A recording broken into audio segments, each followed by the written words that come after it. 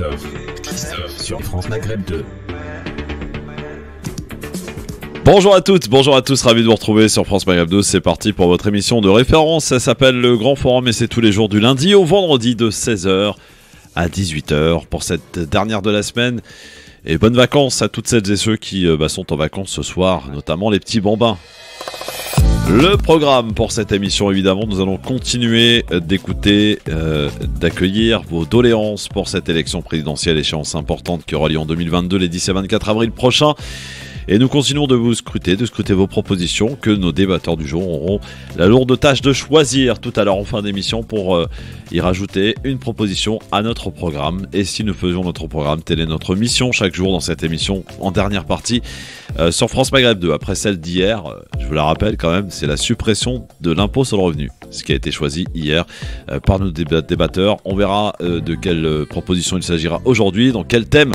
Vous pourrez en tout cas nous appeler comme vous le faites, et d'ailleurs euh, fort bien, euh, tous les jours au 01 40 33 9000. La vaccination pour enfants, on en parle de plus en plus de euh, conseils.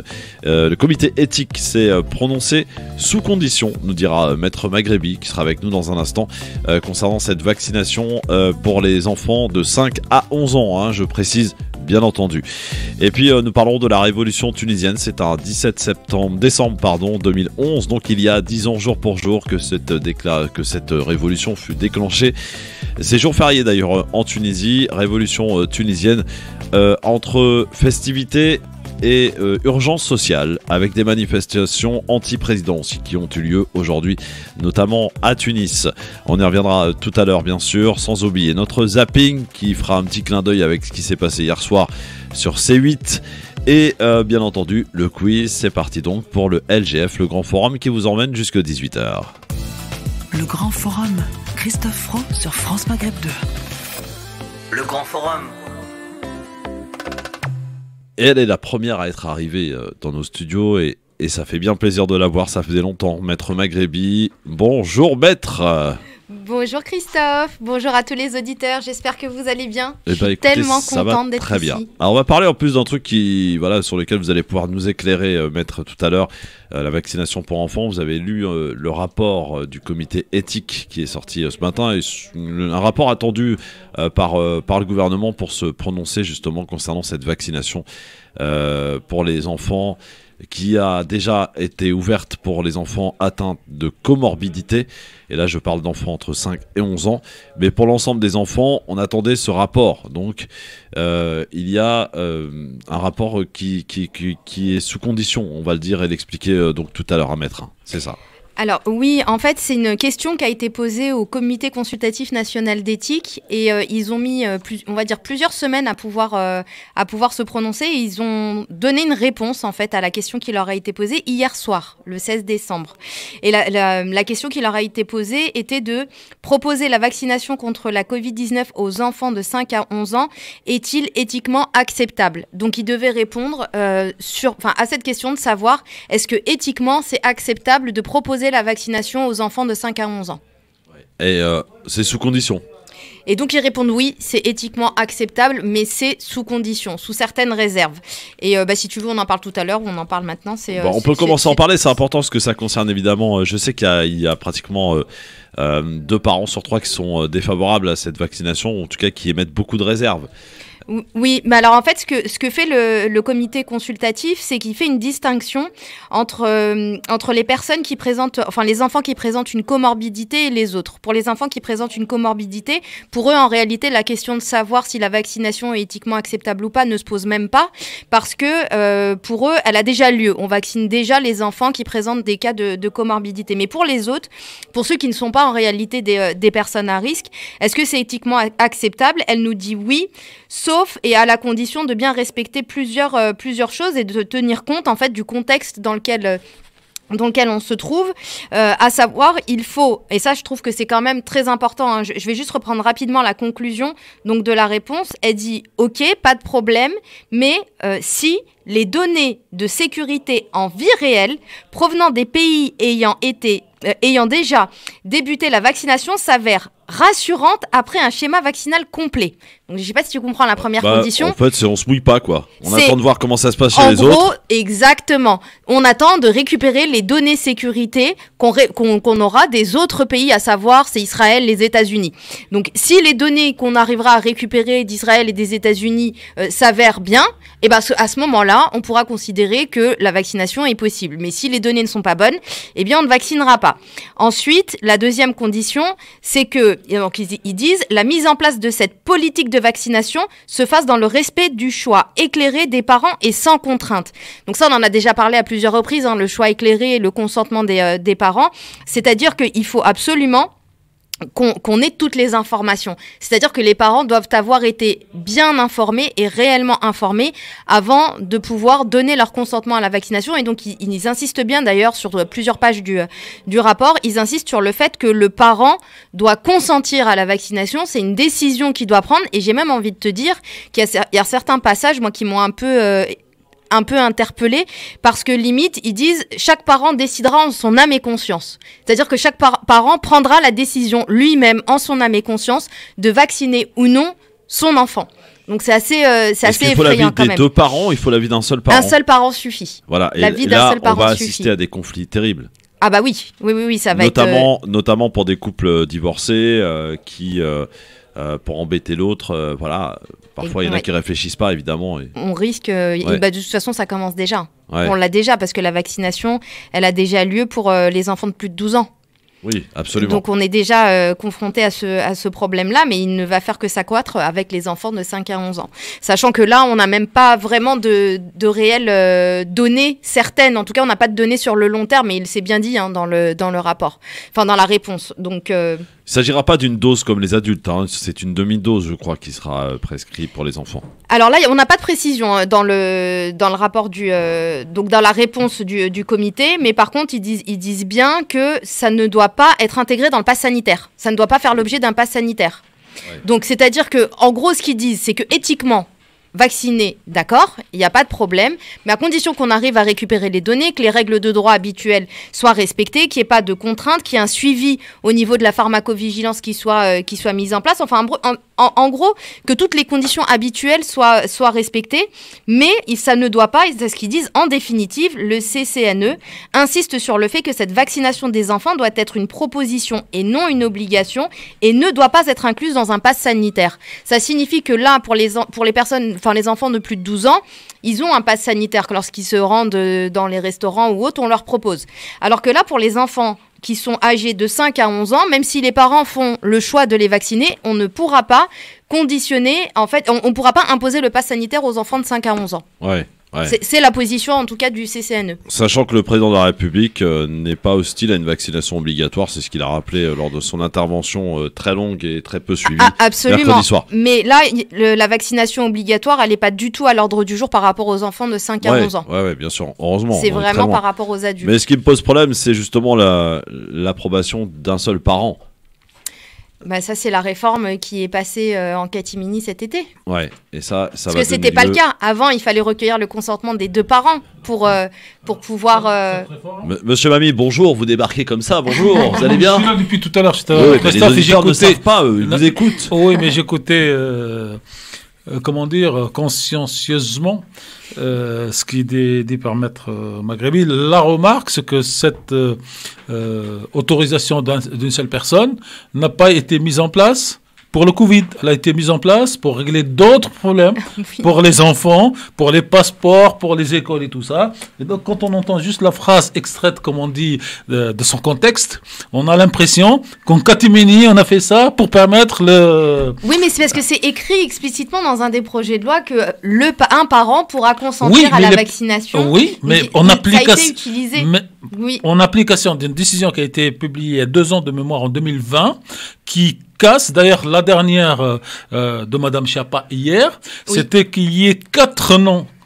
Papa, maman, papa, maman, Mm. parce que en indiquant, parce qu'on peut, on n'a plus le droit d'indiquer le sexe, et donc ça, ça, on peut avoir deux papas ou deux mamans, et donc c'est toutes ces euh, pseudo-réformes pour, chaque- pour quelques-uns, qui impliquent après automatiquement d'en tirer les conséquences et donc de préciser dans le cadre de la loi Covid un seul de, de parents suffit. Et la bonne nouvelle, c'est peut-être que demain, quand il y a un conflit sur, euh, euh, entre un, un homme et une femme, deux hommes, deux femmes qui vivent ensemble, Entre deux parents. entre deux parents. Voilà. Et quand il y a un conflit, c'est un problème juridique d'un passeport d'une école. J'allais dire, c'est lui qui tire le premier, qui signe le premier, ben, il emporte la partie. Et si l'autre n'est pas content, cher Christophe, ben, il va au tribunal pour Ouais, invalider. mais, euh, et il quand appelle c'est maître- pour un passeport, c'est pas grave. Non, mais. Mais quand c'est pour, non, mais- euh, non, non, quand vous c'est pour pouvez la pas en décision de droit- vacciner, c'est plus grave pour moi. Christophe, Bah, en disons droit, que oui, parce que le vaccin, c'est ça reste un acte Bah oui. médical. Oui, bah, c'est un acte médical En qui droit, doit vous ne normalement... pouvez pas faire des textes de loi pour dire c'est un parent quand il s'agit d'école, pas un pas deux parents quand il s'agit de Covid, trois parents quand il faut partir à l'étranger. On peut faire des que exceptions, Tarek Mami. Ah bah, Vous pouvez pas le Conseil constitutionnel vous Bah casse oui. derrière. Bah, vous pouvez pas.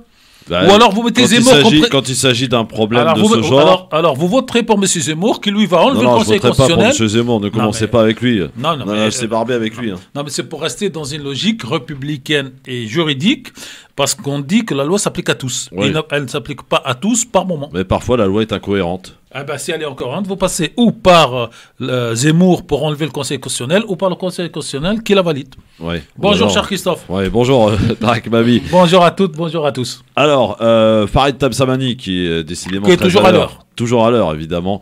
Euh, Ben, ça va, il y a que 11 minutes pour le moment. Bon, eh bien, on va se faire la pub et dans un instant, le quiz, le zapping et on va aller en Tunisie. Parce qu'il paraît que c'est jour férié aujourd'hui en Tunisie. Alors, c'est jour de révolution. Ouais, c'est dixième anniversaire. Euh, oui, de- Ah oui, on est du en déclenchement. 2001. Euh, 2021, pardon. En Déclenchement de- de la 2011. révolution le déclenchement. 17 décembre.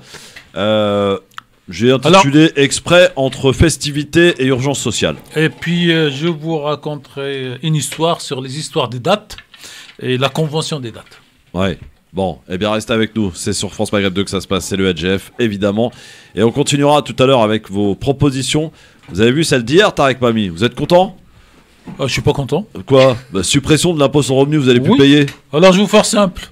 Dans le cas où moi, je paye pas, Monsieur Arnaud ne paye pas non plus. Bah non. Monsieur Bolloré ne paye pas non plus. Plus personne. Eh, Voilà. Bon, oui, c'est bien. Bah voilà. Et, et Et encore- ça permettra d'av- de, de- de- voilà, d'enrichir Ça- le pouvoir d'achat. Tout à fait. Et ça permettra qu'il n'y ait plus d'argent dans la caisse de l'État pour vous allumer, pour vous mettre une ampoule dans la rue le soir. Bah, celle qui a proposé cette proposition est à côté de vous. Hein. Je dis ça, je dis rien. Voilà. Voilà. Moi, je suis- Mais je Alors, l'assume, moi- je l'assume. Non, non, moi, moi, je suis pour qu'il y ait plus de tranches de l'impôt.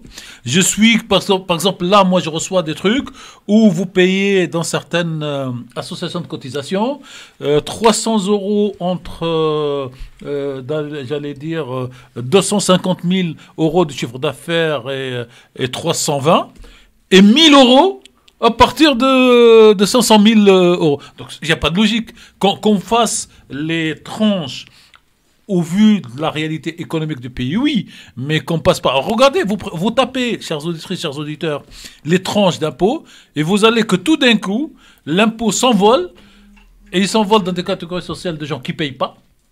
Pourquoi ils payent pas? Parce qu'ils ont des avocats spécialistes dans la chose.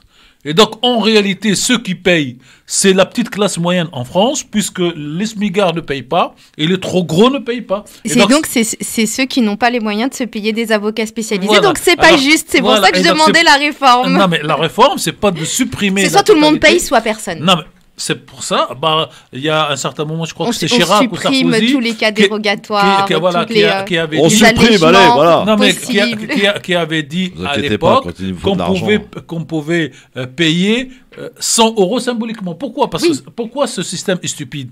Vous ne payez pas l'impôt sur le revenu, mais vous payez la taxe sur la télévision. Oui. Et des fois, la taxe sur la télévision de 800 euros, Elle est plus élevée est que plus la taxe, élevée que la l'impôt taxe sur le que vous deviez revenu. payer sur le SMIC. Mm. Donc, réforme de l'impôt et de tranche, oui. Suppression, je suis contre. Bon, Je suis quelque bien. part communiste euh, qui ne sait Ouais, pas je sais pas, oui, peut-être. En tout cas. toujours resté Non, mais c'est bien parce que 20 notre programme est très très diversifié. Je veux dire, on peut pas le qualifier ni de gauche ni de droite hein, pour le coup. Non, il y a Voilà. les deux. Alors, y a- on, on a eu même un, un- un type euh, que vous n'avez pas connu, Christophe, puisque vous êtes euh, jeune, qui s'appelait, euh, alors il va me revenir, Monsieur Jobert. Ouais. Et Monsieur Jobert, il avait un programme qui s'appelait, donc aujourd'hui en même temps par Macron. À l'époque, il disait qu'il n'était ni de droite ni de gauche, il était d'ailleurs. Oui. ouais, C'est. Jobert. Bon, euh, et c'est pas la faute à c'est pas la faute à, à Gobert, on dit. Euh, dans un instant, le quiz sur France Maghreb 2 avec. euh, vous aviez annoncé la pub, je sais pas ce qui s'est Bah oui, elle, Ah est, elle est là, elle arrive, vous Ah inquiétez bon. pas. Elle passe maintenant là, la Ah. pub, Carrefour, tout ça, machin. À tout de suite.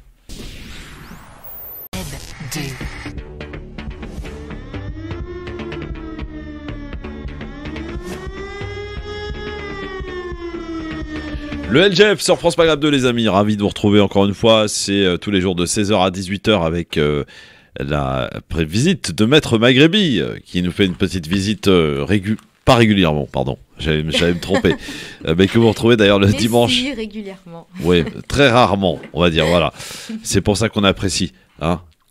Mais c'est pour ça que je suis ravie aussi d'être là. Oui, c'est ça. Alors, bon, euh, parler droit, c'est tous les dimanches pour celles et ceux qui veulent des- avoir des conseils juridiques sur France Maghreb 2. euh, ça fait plusieurs années maintenant que ça existe et c'est tous les dimanches de 15h à 16h. Oui, exactement. J'ai écouté d'ailleurs la semaine dernière, j'ai pas entendu. Euh, non, la semaine dernière, j'ai été retenue en garde à vue, donc j'ai pas pu être là, mais euh, ça reprend là en janvier. Maître, vous êtes souvent en garde à vue, ça m'inquiète. Vous êtes Enfin, une, oui, euh, non, alors, je, que je précise aux auditeurs. alors, nous, c'est un abus de langage. Lorsqu'un avocat dit j'étais en garde à vue, bien évidemment, ce n'était pas moi qui étais en garde à vue, mais j'ai assisté à un client qui était placé en garde à vue. ce qui est pas la même chose. Ce Ah, qui n'est pas du tout la même chose, parce non, que sinon, je ça, passerais. ça prête à confusion, c'est pour ça. Sinon, je serais très souvent en garde à vue. hein. Voilà, c'est ça. Bon, elle est très sage, Maître Maghrebi, elle fait pas de oui, bêtises. très, très. Voilà. Euh, 16h22 sur France Maghreb 2. Euh, vous êtes bien avec nous. Je rappelle que tout à l'heure, vous pourrez nous faire vos propositions parce que euh, on a décidé de ne plus rester spectateur de cette échéance importante euh, qui euh, s'offre à nous, cette, cette élection euh, présidentielle. Euh, et notre voix est importante, notre voix compte, mais aussi nos idées. Euh, et ainsi, nous avons décidé de faire notre programme en fonction des sensibilités des différents débatteurs et chroniqueurs qui sont là en présence euh, chaque jour sur France Maghreb 2. Les auditeurs proposent et les débatteurs choisissent. C'est un peu le principe voilà, de la démocratie. Dispose. Disposent et peuvent même retoquer. D'ailleurs, il y a eu beaucoup de hier. hein. Oui, j'étais surprise. Ouais, on avait quand même deux ultra-libérales sur le plateau. Euh, donc euh, voilà, ça a beaucoup retoqué. Mais comme j'aime le rappeler, euh, c'est que chaque jour, il y a des débatteurs différents et euh, donc d'autres sensibilités et que votre proposition peut repasser éventuellement non mais en tout cas on a un beau programme là, qui commence à être euh, élaboré et que nous allons euh, que je vais porter euh, personnellement aux candidats que j'aurai l'occasion euh, d'interroger durant cette campagne. Et l'objectif étant de tous les rencontrer, de tous leur poser nos questions, euh, parce que voilà, il n'y a pas de raison, ils font euh, les médias euh, nationaux, mainstream, et puis qui passent pas par chez nous, alors que notre voix compte quand même, elle est importante, donc Mm. il est important qu'on se fasse entendre et qu'on fasse se propager nos idées. Et ainsi, donc, je vais faire un petit peu le, le porte-parole de, de tous ces auditeurs qui auront proposé pendant plusieurs semaines euh, leurs propositions afin d'essayer euh, de répondre au mieux aux attentes euh, de l'ensemble de nos auditeurs sur France Maghreb 2, que vous soyez de Marseille, que je salue, de Metz. Alors pour la petite histoire d'ailleurs, je sais que c'est voilà de l'ordre privé, mais euh, nous étions euh, au Vélodrome avec Maître Maghrebi euh, pour le fameux Classico. Et ça reste un souvenir incroyable. C'était génial. Ouais, c'était absolument génial. Bon, il n'y a pas eu de vainqueur, dommage. Oui, mais comme j'aime à le dire, il n'y a pas eu de vainqueur, mais il n'y a pas eu de perdant. Et euh, qui dit il n'y a pas eu de perdant signifie que l'OM a magnifiquement bien joué face à Paris, euh, puisque beaucoup pensaient qu'on allait se faire euh, écraser, laminer, qu'on allait se faire massacrer. Et finalement, tu confirmeras quand même, hein, Christophe, qu'on a très très bien joué. Vous avez plutôt bien résisté, on va dire. On a Voilà. très bien joué. Ouais, vous avez bien C'était résisté. c'était un beau match. C'était un beau match, effectivement, au stade Vélodrome. voilà. Et le match retour à Paris, bien entendu, euh, ça sera La pour le mois d'avril, je crois. Euh, la revanche, effectivement. Euh, Puisqu'on parle de foot, demain, la Coupe arabe, la finale, Algérie-Tunisie. Oui. Ça va être chaud, hein? Bah écoute, euh, ça va être chaud. Non, ça va pas être chaud. Quelque... Enfin, j'ai envie de dire que le meilleur gagne. Et euh, bien évidemment, euh, que ce soit l'Algérie ou la Tunisie, euh, l'Afrique gagne. Donc c'est l'Afrique du Nord, c'est génial. Ouais, d'accord. Vu sous cet angle, j'avoue que c'est bien. Mais pas tu que, t'attendais pas à cette réponse. hein. j'ai pas sûr que les- tous les supporters soient ainsi, tu vois. Si, si, si. Ah Si, ouais si, Mes amis algériens sont tous, s- sont tous aussi, aussi convaincus que, que la Tunisie gagne ou que l'Algérie gagne. Euh, Le principal, c'est que l'Afrique du Nord gagne. En tout cas, la finale, c'est demain. Alors, je crois que c'est à 16h. Je crois aussi. Donc 16h demain, euh, finale euh, Coupe arabe. Euh, je crois que c'était la première fois d'ailleurs qu'on faisait une Coupe arabe organisée par la FIFA au Qatar. Mm. Le Qatar qui était le dernier adversaire de l'Algérie avec 18 minutes de temps additionnel. C'est du. Alors le record n'est pas battu, j'ai vu ça. Il y a eu beaucoup plus, mais euh, en tout cas là on a essayé quand même de bien tricher chez les amis Bah, qataris. toute tentative euh, de tricherie a échoué, donc c'est euh, c'est plutôt rassurant. Ouais, ouais, ouais, heureusement. En tout cas, ça va nous offrir une belle finale.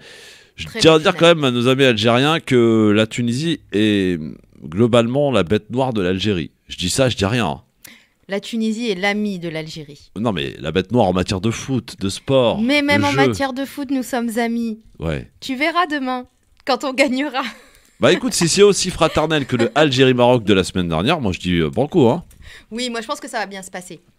Il n'y a pas de raison. En Mais tout non, cas, il n'y a, pas- il y a pas de raison. Les Bon. Algériens sont. vous pouvez nous balancer vos, comment- vos pronostics hein, quand même. Hein. Euh, 01 40 33 9000. Maître Maghribi, votre pronostic pour demain? 2-1 pour euh, la Tunisie. Ah oui, d'accord. Donc voilà, euh, on- 2-1 pour la Tunisie, très bien. Euh, c'est parfait. Alors, euh, pour rien vous cacher, voilà, Tarek Mami est parti, Paris Tab Samani n'est pas encore arrivé. C'est très, bien, on est tous les très deux indiscipliné avec, le vendredi. Les, les c'est très très indiscipliné, je dois vous le dire. Heureusement, je suis là et Maître Maghribi aussi est là avec vous pour qu'on évoque tous ces sujets dans un instant. Et c'est vrai qu'un quiz toute seule, ça n'a pas beaucoup d'intérêt. Surtout Tiens, que je joue pas, moi, au quiz. Oui, c'est ça. Merci beaucoup. Euh, alors, euh, comment ça tu joues pas? Bien sûr que si, tu vas jouer, tu rigoles ou quoi? jamais joué au quiz. Allô, allô Oui, salut Christophe, c'est Jamel. Comment ça va? Ça va mon Jamel Et toi? Écoute, ça va. En vendredi, pour une fois, je ne travaille pas, donc euh, je suis mon fonctionnaire. Ah bah ça c'est parfait, ça dit donc un bon fonctionnaire, hein, comme on les aime. T'es en Il n'est vacances pas la peut-être? SNCF par hasard. Non, il est pas Euh, SNCF. Écoute, euh, moi, j'aime bien bosser, mais malheureusement, j'ai des jours qui expirent. J'ai des choses à faire, donc je profite un peu. Très bien. Donc euh, ça y est, Pôle Emploi, on a fermé ou pas, non? Ah bah, de toute façon, Pôle emploi, c'est fermé au public, mais on, on est là le vendredi après-midi. Et c'est la légende de on est en week-end à midi, euh, c'est vraiment qu'une légende. Ah ouais? Ouais. Je- ouais. Moi, je pars à 17-18. Hmm, très moi, bien. je connais des endroits où. Moi, je connais des endroits où ils prennent Où le café à 9h vraiment- moins de ils quart, ils commencent à travailler à 10h. Euh, ils font la pause déjeuner qui dure 2 heures et puis ça termine tranquillement à 16h. On range les affaires et on part au week-end. Si tu veux, je discuterai un de ces quatre. En fait, on a des horaires contraints. Mhm. et on a des horaires libres. C'est-à-dire que, en gros, on doit faire 37, moi je suis à 37h05, euh, en gros, le matin, 9h, tu es en poste, jusqu'à 15h30. Donc, plus tu viens tôt, plus tu peux partir tôt. Euh, moi, des fois, j'arrive, il est, il est 7h45, et puis je pars, il est 18h. Ouais. Donc, euh, donc voilà, mais je, Bon, à- en Jamel. réalité, je fais 40 et quelques heures par euh, semaine. C'est c'est sympa hein, de parler de, de, de, voilà, de ton travail, mais euh, qu'est-ce qui t'amène, mon vieux? C'est le foot? Déjà, moi, je voulais dire 2-1, Eric. 2-1 pour, on n'a pas entendu ça, coupé. 2-1 Non, pour, pour l'Algérie, il a dit. Jamel Ça, c'est, c'est, c'est mi- avec la petite astérisque minimum garanti. 2-1 pour l'Algérie, c'est ça Ouais, ouais. Bah, D'accord. tu as, je sais pas si tu as vu le petit tweet sur, euh, sur euh, que, que j'ai posté. Nous, ce qu'on veut, c'est un match, euh, un match fraternel. On veut qu'il y ait du jeu, que, que ça se passe bien. On aime utiliser, mais on va tout vive à l'Algérie. Voilà, ça. Eh ben, alors, alors, je vais vous rajouter, moi, un astérix. Si vous gagnez, si vous gagnez, je vous offre un, un dîner avec Christophe. Et si vous perdez, vous venez nous l'offrir. Comme ça, ça vous apprendra parce que qu- quand on se met à faire les paris, c'est pas comme on va gagner 1, 2, 3, 4, 5, 6, euh, je sais pas quoi là. Le foot, comme dit Christophe, tant que l'arbitre n'a pas signé la 90e minute plus 19 minutes, qui, qui- qui est la nouvelle règle, le match n'est pas terminé. Au Qatar, hein, vous précisez. Au Qatar. Ouais. Bon, bah, Jamel, bon, match pour demain, hein, ces 16h. minutes. Voilà. Voilà. Alors, ça marche. Euh, euh, Tarek Mami, tiens, puisqu'on y est, euh, pour en terminer là-dessus, votre pronostic, vous, pour demain Moi, mon pronostic, c'est qu'on va vous faire une belle surprise demain à Go. 16h. Vous, c'est-à-dire vous, c'est-à-dire qu'on La radio vous. France Maghreb 2. Ah oui? Alors, restez à l'écoute demain à 16h. Ah, très bien, très bien, très bien. Donc, euh, ça, c'est bien, ça. Mais Parce que, euh, pour, euh. Non, peut-être pas quand même, parce que Ah, le Qatar, c'est loin. Ah oui. Bah, mais, euh, Mais vous, écou- vous, écouterez demain à partir de, en gros, 15, euh, 15h30 Ouais. et vous entendrez, vous écouterez ce qu'on peut faire. Bon, bah, ça, c'est bien. Ça, c'est bon, ça. On, on savait pas écouter le match, bah voilà. Euh, c'est parfait. Le quiz Le quiz. Quiz. Raktab Samani, lui, il est resté bloqué euh, au match Algérie-Maroc, lui. Ah oui. qui était un super match d'ailleurs, très fraternel. Ouais. Une belle leçon à tous ses dirigeants. Ouais. Première question. Quel artiste français, et je parle d'un chanteur, fait son entrée au musée Grévin en 2002 avec sa statue de cire? Il est décédé depuis. Un, un pas personnage. Aznavour? Non, c'est pas Aznavour, c'est un, un personnage euh, très sympathique, très Chanteur? Marrant. Oui, chanteur. Henri de son prénom. Euh, Henri le, le Guyanais, là. euh, Henri Ouais. Salvador. Henri Salvador. Avec euh, ce, soir, ce soir, le lion est mort. Le lion est mort ce soir, exactement. Oui. Ah, vous allez voir qu'il y a une petite transition avec la dernière question. Euh, deuxième question, la justice a décidé de réouvrir le dossier de quelle affaire Ah oui, 27 euh, ans Omar, après Omar, Omar Omar Haddad. Omar Haddad, bonne réponse. C'est incroyable, euh, Tarek Mami, cette histoire. Non, non, non, c'est pas incroyable. C'est déjà arrivé dans l'histoire de France, mais je trouve que c'est revenu relativement euh, pas très longtemps après. Parce que vous avez une autre affaire célèbre qui s'appelle euh, l'affaire Siznek. Mm. Ça dure depuis un siècle. Et la famille euh, Siznek, qui est la troisième génération, n'arrive pas à rouvrir ce dossier. Alors que pour Omar, ça a été rouvert très vite. Et Omar, faut dire quand même merci à Chirac, qui Oui, qu'il a qui est là gracié en disant on sait pas, Mm. on n'est pas très convaincu qu'il l'a fait, mais bon, comme il n'y a pas de solution juridique, on va le gracier. Et je puis il y connais, a quand même la dé- enfin il y a quand même des éléments qui sont euh, suffisamment Ouais. probants. pour et je ouvrir. connais la personne qui l'a embauché à Marseille, Mm. dans la, dans la boucherie, parce qu'il fallait un contrat, donc je connais la personne. Troisième question. Je cherche une écrivaine. On dit bien écrivaine. hein. Euh, oui, aujourd'hui, il paraît. Oui. Je cherche une écrivaine francophone. Elle fut la première femme admise à l'Académie française euh, le 6 mars 80. Et Alors, elle ça morte doit être en Yurs- 1987. Euh, Yourcenar Yursenar, bonne réponse. Tarek Mami. Marguerite Et- et- de son prénom. Oui, parce que, comment elle s'appelle? Elle n'a jamais pu rentrer euh, le deuxième sexe, euh, Simone de Beauvoir. Ouais. Alors Mm. qu'elle elle méritait, mais à l'époque, les femmes, c'était rien, comme dit euh, quelqu'un. Quelle langue est célébrée chaque 18 La langue décembre arabe. depuis 1973 La Bonne réponse, Tarek. Devenue langue officielle Euh, par les Nations Unies. Oui. que j'ai dit je- je- 8, 8, euh, La langue arabe qui sera célébrée d'ailleurs à l'Institut du monde arabe monde demain. Voilà. Demain, effectivement. Donc le 18 décembre, sachez, c'est la journée euh, mondiale je, de la je langue vais vous arabe. dire un, un- un- un- un- non pas un poème, mais un extrait de poème que j'ai appris quand j'avais 16 ans et qui me hante chaque fois qu'on parle de la langue arabe parce que c'est euh, quelque chose d'extraordinaire. Euh, J'ai mis du temps à comprendre ce que c'est. C'est Mikarron, Mifarron, Mokbilan, Rakadama.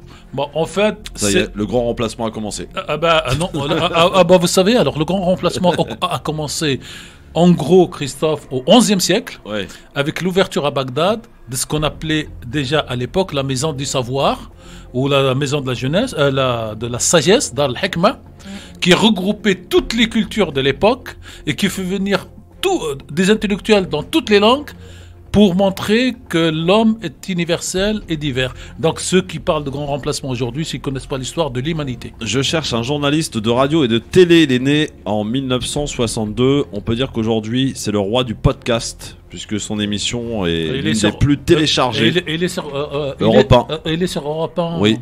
Maître, euh, Il a le même prénom que moi d'ailleurs. Voilà. Alors, Europe 1, son prénom Christophe. Il Ça a une voix extraordinaire. Il raconte beaucoup d'histoires. Moi, il me prend la tête à la maison parce que euh, mon épouse et mes, et mes enfants euh, écoutent à longueur de journée. Eh ben, c'est un très bon choix. Ouais. Voilà. Alors, Christophe Co- Colomb, non, pas- Non, pas Colomb. Non. Celui-là, non, il, est, il mort depuis longtemps.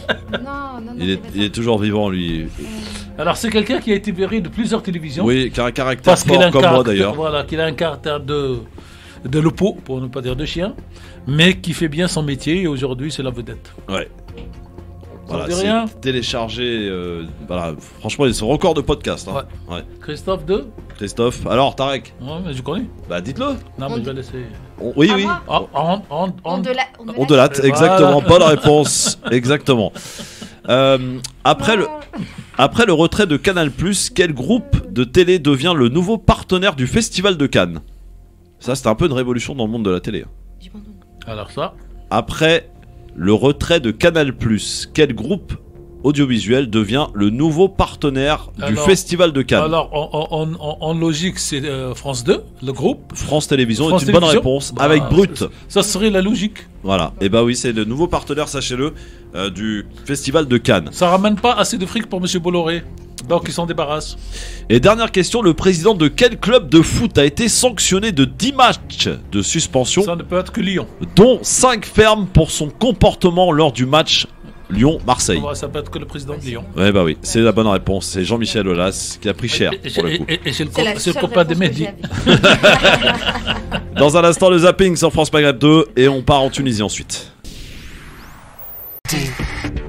Le LGF sur France Maghreb 2 avec euh, Tarek Mami et Maître Maghrebi qui sont euh, avec nous et c'est donc l'heure du zapping, les moments forts de la télé. Et euh, pas que d'ailleurs, et de la radio aussi. À commenter sans modération. Qu'est-ce que vous avez regardé hier soir, monsieur Mamie Alors, euh, euh, on est en direct? La vérité, la vérité. Oui, Non, oui, on est en direct. Alors, avant-hier soir, contrairement à vous tous, moi, je regardais la belle prestation du président de la République qui a duré deux heures. Non, ça c'était mercredi. Ça. Non, mais je l'ai regardé en totalité et j'attendais une phrase, en fait. Parce Ouais. que moi, quand j'écoute la radio ou la télé, euh, je n'écoute pas, j'écoute par intérêt professionnel. Et j'attendais à ce qu'il vienne sur la question du CFCM. Et il n'est pas venu sur la question du CFCM. Et il n'a rien dit, ni mort, ni vivant. Ce qui me fait dire aujourd'hui, après réflexion, qu'on a Starsky et Hutch de la, du CFCM, on a le ministre de l'Intérieur donc, qui fait le méchant, et on a le président qui ne répond pas, en laissant de côté pour le jour où, on ne sait jamais, pendant la campagne, il dira ce qu'il a à dire. Voilà, donc ça pour avant-hier. Ma- Euh, Alors, Ma question était qu'est-ce que vous avez regardé hier soir? Alors, hier soir, euh, je vais vous raconter ma vie auditrice et auditeur de la radio. Hier soir, je reçois un coup de téléphone vers 17h. Il y avait le, 100, le 120e anniversaire de la création des orphelins de la police. Ouais. Et il y avait un concert dans l'église Saint-Roch qui s'appelle l'église des artistes. Et Ouais. donc on m'a invité, j'y étais passé euh, une demi-heure pour regarder, donc parce que c'est pour les orphelins et que c'est une thématique qui m'intéresse. Et en rentrant, j'ai zappé et je suis tombé euh, sur Zemmour et Zemmour. Ah, eh ben justement, c'est là où je voulais en venir. Bon, et j'ai regardé Zemmour et Zemmour, c'est-à-dire Eric et Eric, et je peux tenir euh, en me forçant. Non, parce qu'il y avait non, Karim. Zeribi. Non, j'ai vu Karim Zeribi qui a été excellent. Et un autre aussi, Euh, euh, euh, euh, Émeric Caron. et non, je l'ai raté. Quand Ah je suis bah. arrivé, j'ai vu dans Karim que je trouvais Karim très bon. Ouais. Et il a été d'une clarté. D'ailleurs, en clair, c'est lui qui a parlé beaucoup plus que l'autre. Et Cyril l'a laissé faire. Et il a fait le boulot de n'importe quel journaliste en France. Ce- ce- le boulot qu'il a fait hier, personne d'autre l'a fait. Et puis, je regardais un peu donc, le député euh, F- euh, Corbière. Corbière, que je trouvais en dessous de tout. Et quand Madame Kelly, que je connais, que je connus au CSA, C'est là où j'ai zappé, moi. ah bah on est deux à avoir Voilà. zappé Ah à non, ce moment-là. C'était même limite indécent. C'était voilà, c'était euh, hypocrite. Ouais. Eric n'est pas mon ami. Je n'ai jamais déjeuné ou dîné avec lui. On s'appelle jamais. Mais sur le plan professionnel, je trouve que c'est un homme courageux. Et, euh, quand, on arrive à là, ça veut dire qu'il n'y a plus rien à écouter. Bah, c'est pas une émission politique. C'est une émission. Est-ce qu'on peut encore le, le monter? Pour moi, la dégringolade a commencé. Et de toutes les façons, hier ou avant-hier, il y avait deux sondages qui sortent en même temps. L'un le met à 15, l'autre à 12. Et toute la presse française ne parle que de celui qui le met à 15. Donc, quand Mme Kelly arrive, Tarek s'en va. Trois, euh, trois passages de cette émission d'hier soir qui a été regardée par 2 212 000 téléspectateurs. Ce qui Alors- est un beau, un beau succès pour C8. hein. C'est un beau succès par rapport à, à Cyril qui, en moyenne, est à 400 000, 500 000. Un peu plus quand même, vous êtes. Non, en moyenne. Il, En il mo- frôle le million chaque soir, mais bon. Non, non, si, si, bah, c'est oh. regarder les audiences, je les regarde tous les matins. Donc Ouais, euh, moi- aussi. euh, Deuxième chose, je peux vous donner les chiffres des électeurs parmi ceux qui ont regardé hier? Comment ça? Bah, Le nombre de personnes qui ont regardé et qui vont aller voter. Ah, ça, j'en sais rien. ça. Ah, moi, je vous le donne. Ouais. C'est à 20%, c'est un grand maximum. En tout cas, écoutez ce qui s'est passé hier soir sur C8. Vous avez beau le nier euh, avec sourire, parce que c'est l'une de vos forces, c'est d'essayer Oh, merci, de c'est- mettre du une force sourire. déjà, c'est d'essayer de mettre du sourire dans les horreurs que vous racontez. Euh, Bah, en Les général, musulmans, vous, la mettez pas de question- sourire dans les bêtises question- que vous racontez. Donc la question n'est pas seulement celle de l'assimilation. La question, je l'ai pas entendu. Ah, ça Eh oui, retourne. Eh oui, ça retourne. Mais c'est normal quand, vous, quand on est obsédé par soi-même, on Alors, n'entend pas les attention, autres. le problème, c'est qu'avec vous, évidemment, le racisme, l'immigration, c'est quasiment votre identité Alors, totale. ben, voyons, bah voyons. Bah oui. Euh, D'abord, un petit bain voyons. On va les compter ce soir. ah bah oui, Voilà. bah comptez-les, vous Ça, c'est savez. quand vous savez pas quoi dire, il y a le petit bain voyons.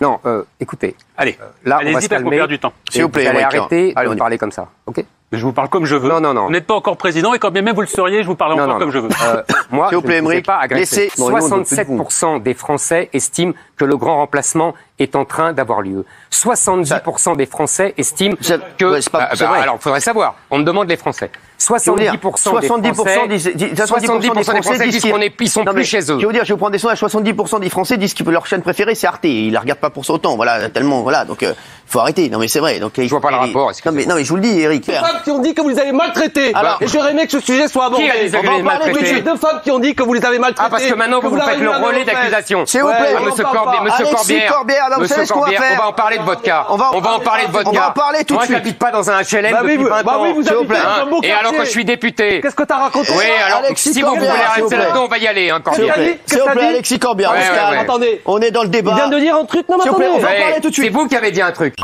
Alors, alors, alors, sachez que ça s'est prolongé en coulisses avec Madame euh, Garrido, qui est Ok. l'épouse de Corbière, Qui a été au-dessous de tout. Et qui a, euh, Qui a été en dessous de agressé euh, le plus jeune, euh, voilà, le président de Génération Z, euh, Tadislas Rigaud. Euh, Et voilà, on- les et- insultes. et, euh, voilà. Et on parle pas comme ça parce qu'après, des jeunes dits de quartier qui disent le dixième de ce qu'elle a dit, c'est des racailles. Et elle, elle est avocate. Ouais. Elle est là, a un niveau d'études et son langage est un langage pire que la rue. On peut insulter les gens en, en- en- en utilisant le beau dictionnaire français. Mais quand on s'abaisse à parler comme ça, c'est que son mari, je vais le laisser de côté parce qu'il n'est pas rentré dans la mama, comme disent les Arabes, dans la guéguerre. Mais elle, cette dame, vraiment, déjà que je l'estimais pas beaucoup, je peux vous dire qu'aujourd'hui, euh, elle est moins que rien. Zemmour, Besma, ça t'inquiète? Alors ça m'inquiète. Euh, non, enfin oui et non. Euh, ça m'inquiète sans m'inquiéter. Ce qui m'inquiète, c'est euh, c'est le galon qu'il prend euh, dans, dans ses, par rapport à ses, prises de position. Mais est-ce que ça m'inquiète? Tu parles au niveau des présidentielles? Non, moi je, je pense que les Français sont suffisamment intelligents pour pas euh, élire un tel président. Alors, j'ai juste un petit commentaire là-dessus euh, par rapport à, à ce que j'ai regardé moi hier soir.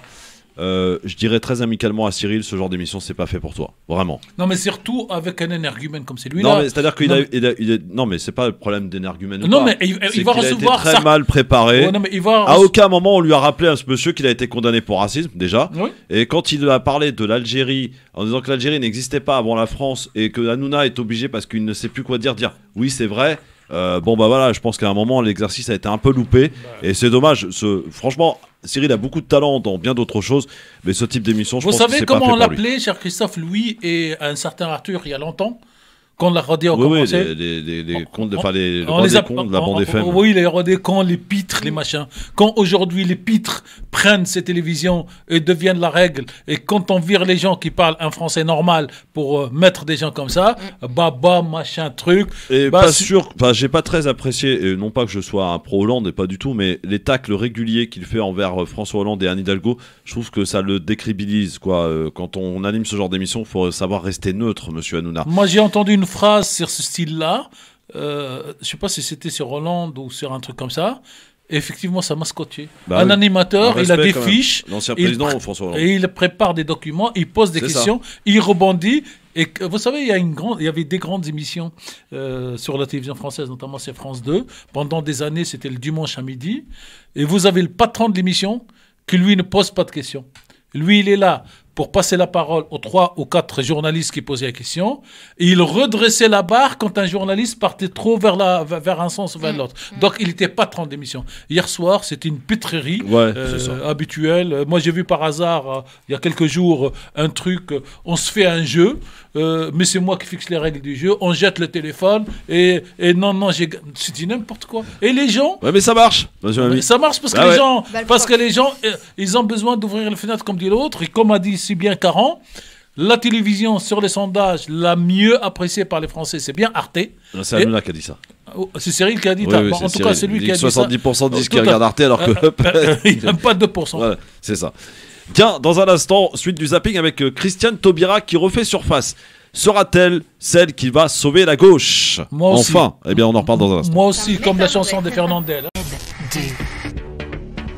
Le LGF, le grand forum, et euh, voilà, donc nous continuons notre zapping avec euh, donc celle qui euh, est appelée d'ailleurs depuis un petit mois. Vous savez que j'ai été contacté à titre personnel par des comités de soutien pour Christiane Taubira, qui se sont montés d'ailleurs depuis un petit moment.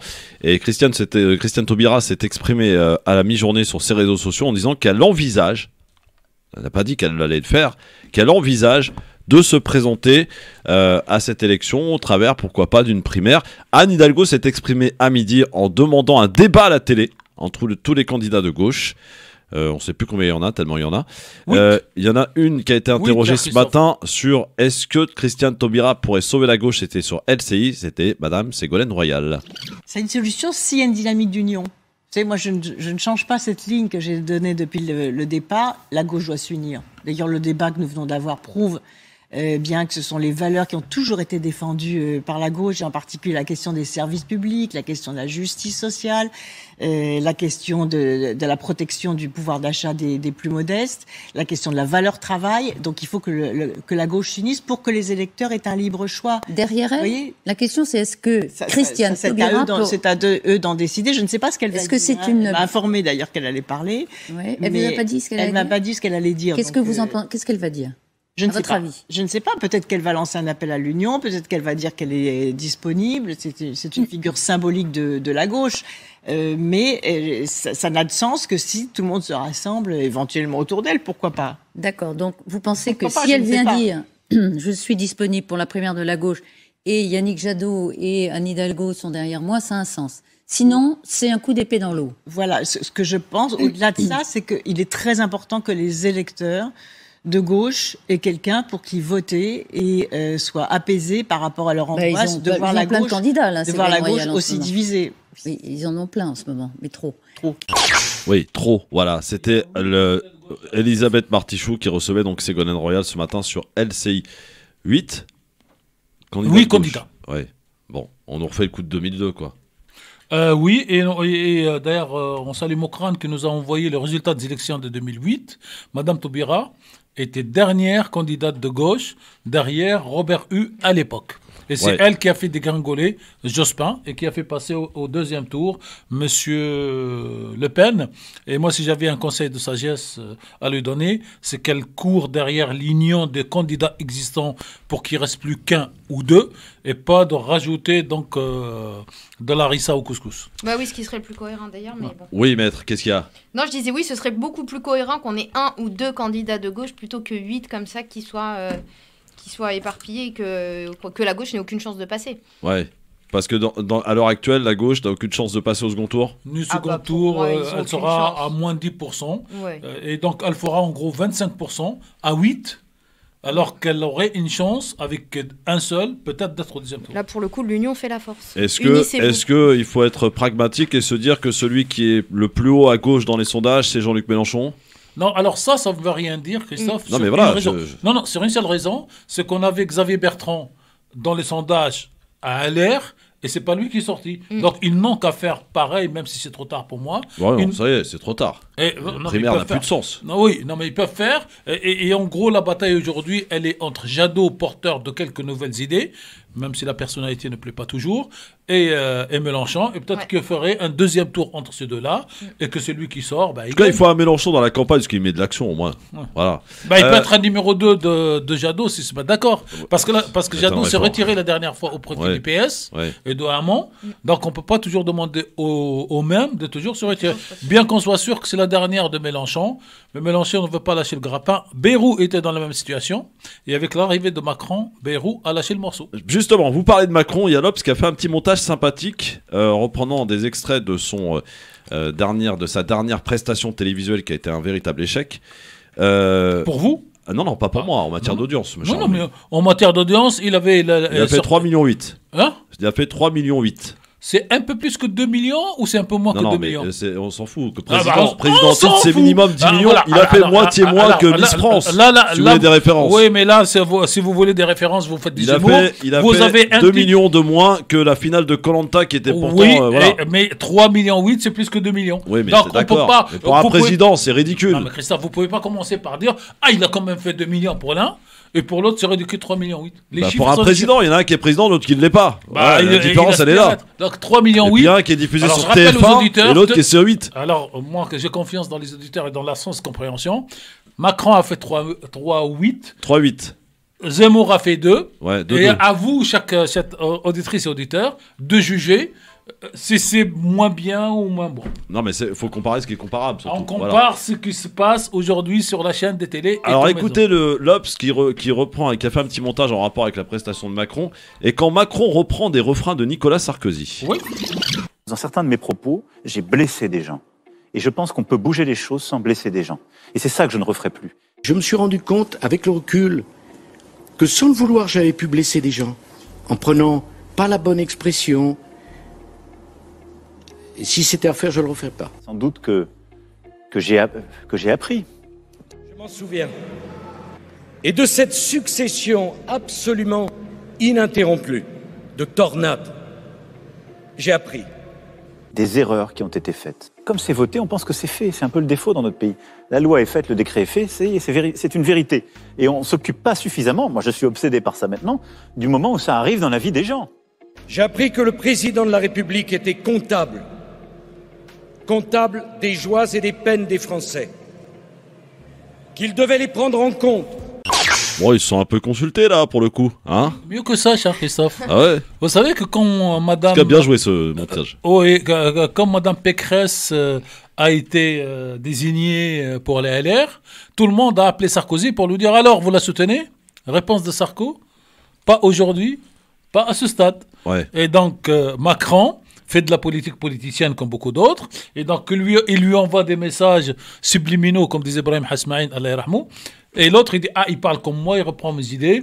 Donc, je me sens peut-être un peu plus de euh, proche de Macron que de Pécresse. Et c'est pour ça que Pécresse n'est pas sûr de gagner si elle est en deuxième tour face à Macron. Alors, Parce justement, qu'il y a un public. Parce que imaginez que 15 jours avant. Oui, mais vous, vous roulez pour Macron, vous, de toute façon. je- ça, moi, mais je si, ça, ça se sent, ça se voit, monsieur si, Mamie. si vous voulez. Vous êtes un Mais- journaliste partisan. Mais quand, Oui, ça- oui, mais, oui. mais- Oui. mais Alors, quand je vous donne Sarkozy l'argument, s'est Christophe. excusé, il a perdu.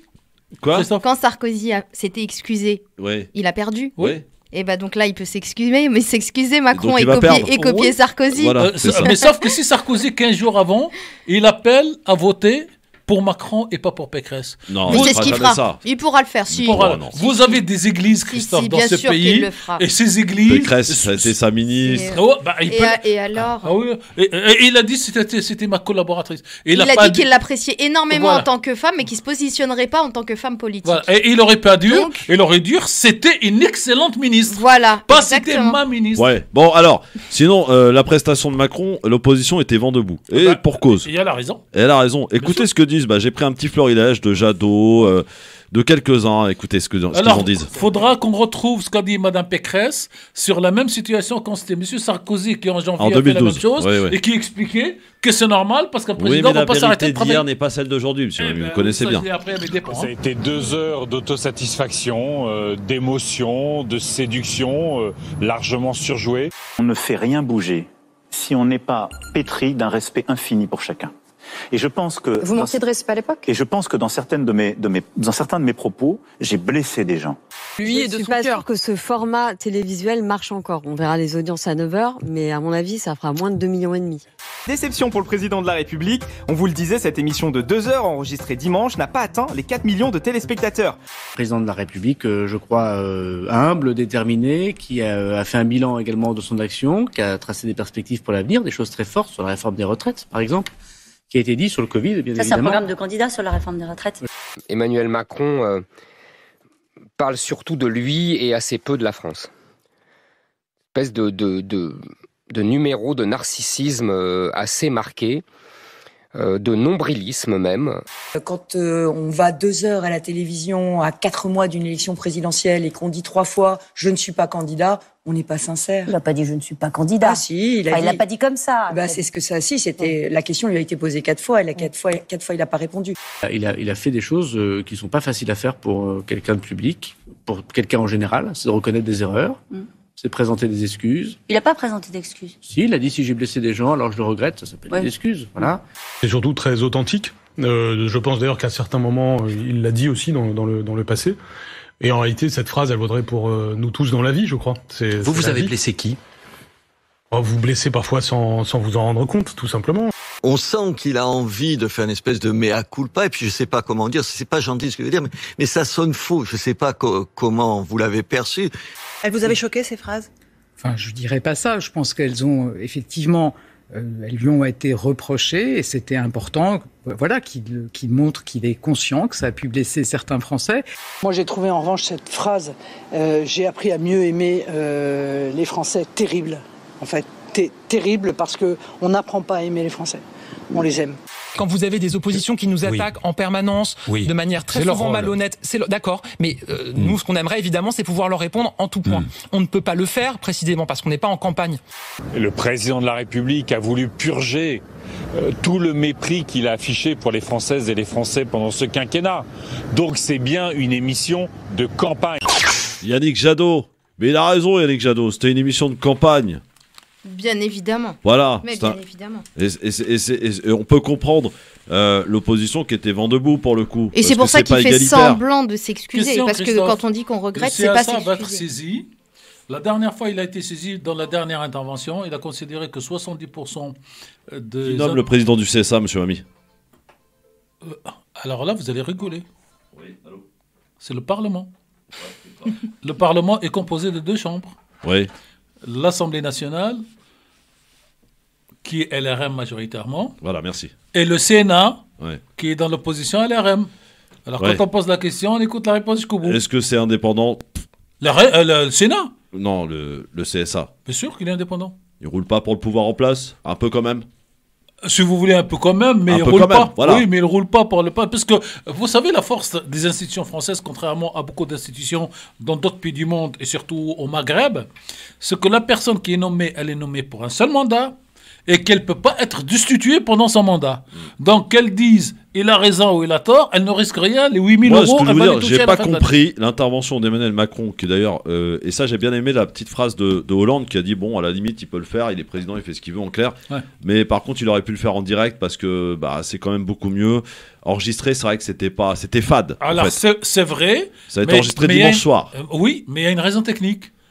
Au même moment, il était en Europe pour le donc euh, pour la première réunion de Il travail. a qu'à qu'à faire un autre jour alors. Ah, bah, Et surtout, euh, moi, le timing qui me pose problème, c'est-à-dire de faire une intervention comme celle-ci euh, durant deux heures à dix jours d'une allocation tradi- d'une allocution traditionnelle du 31 décembre.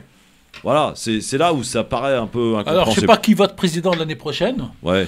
Peut-être Pécresse, peut-être Le Pen, peut-être Zemmour. Je vous, mar- je vous prie de marquer dans votre agenda que quatre mois avant donc la prochaine élection, si vous direz pas la même chose, c'est la même chose. C'est le système politique qui est mal foutu comme ça. Sarkozy, on a utilisé. Euh, Chirac l'a utilisé. Mitterrand l'a utilisé. Le seul qui l'a pas utilisé, vous allez rire, c'est Hollande parce qu'il s'est pas représenté. Ouais, Hollande au moins il a été clair. Euh, Karim est avec nous, salut Karim. Bonsoir mon cher Christophe, bonsoir au patron de la station et bonsoir à votre avocat. Bonsoir, Euh, Moi je voudrais m'adresser au, au directeur de la station, s'il peut m'écouter Ah deux non, minutes. non, non, vous vous, non, non, vous vous adressez pas au directeur de la radio, vous vous adressez à Tarek Mami, chroniqueur du vendredi. Si vous voulez Bon, vous adresser, si vous voulez vous adresser au directeur de la radio, on prend un autre créneau et là je vous répondrai comme directeur de la radio. Il a fait de la Non, politique, bah, Marek Mamé, hein, ça se voit. hein. On va m'adresser à, à tout le monde, d'accord Ouais, vas-y, qu'est-ce qu'il y a, Karim C'est un juriste C'est quoi dans ta la- doléance, mon vieux? Non, écoute, moi je vais te dire un truc. Hein. Euh, je sais que tu as dit euh, que tu allais recevoir les gens euh, de la campagne électorale. Hein. Oui, Euh, donc tu vois, si tu veux, les gens que tu vas recevoir, ouais. Je veux dire, s'ils viennent pour nous parler de ce qu'ils vont faire pour l'hôpital, les retraites, je veux dire l'environnement, etc. je veux dire, on, ça, ils vont le, dé- ils vont le développer sur toutes les autres chaînes. On va l'entendre sur BFM, RTL, Europe 1, etc. Et? Mais moi, ce que j'aimerais, c'est quand ils viennent, c'est pour parler de ce qu'ils ont l'intention de faire pour améliorer la vie des musulmans de France. Qu'est-ce qu'ils comptent faire pour lutter contre la haine anti-musulmane, contre l'islamophobie, contre les discriminations? Parce que ça, c'est des questions qu'on ne leur pose nulle part ailleurs. Alors que sur l'hôpital, l'environnement, etc., ça, ils vont en parler en long et large et en travers. Est-ce que, Voilà. je, est-ce que je peux répondre à la place de Christophe? Non, je vais juste terminer une fois, parce que moi, je vais te dire un truc. Quand, quand j'écoute Radio J, il ne lui parle jamais de ce qu'il a intention de faire sur les ascétiques, la retraite. Il ne lui parle que des Juifs de France. Et nous, on veut un candidat, parce que moi, quand j'irai glisser mon butin dans l'urne, j'irai glisser un butin dans l'urne, parce que je sais que le gars, ce qu'il va faire sur les retraites, etc., je l'ai entendu sur Europe 1 RTL, mais par contre, j'aimerais bien qu'il me dise ce qu'il pense des lois sur le séparatisme, qu'il me dise comment il a l'intention de lutter contre le- les discriminations, euh, contre les contrôles aux faciès, contre l'agression systématique des femmes voilées. Voilà ce que j'attends d'un candidat. Qu'il Est-ce que je peux répondre à la place de. Christophe parce que j'ai compris votre, ce que vous voulez dire Oui, euh, moi aussi j'ai compris. Ah voilà. Alors, pour Christophe et la radio, on a mis en place une question quotidienne que vous allez écouter tout à l'heure, qui disent qu'est-ce que vous voulez comme projet, comme discussion. Et il y en a eu donc là pratiquement 8 à ce jour, et Ouais. on continuera jusqu'à la fin de- du mois et peut-être un peu plus. Plus, et, plus. Donc, et- et donc quand le candidat euh, reviendra, on lui dira pas qu'est-ce que vous pensez de l'hôpital, est-ce que vous pensez de quoi. On lui dira nos auditeurs nous ont posé ces propositions et nous vous mettons ces propositions et qu'est-ce que vous en pensez? Et donc si vous avez une proposition, une question concrète, Ben, à- celle-là, moi. ah oui, non, mais vous euh, vous appelez pour la poser à la dernière, à à, la fin de l'émission tout à l'heure et si elle est retenue, elle sera posée. Non mais. Karim, pour te répondre franchement, euh, tu sais, les interviews, ça va être des formats de 40 minutes, donc en 40 minutes, on peut aborder beaucoup de sujets.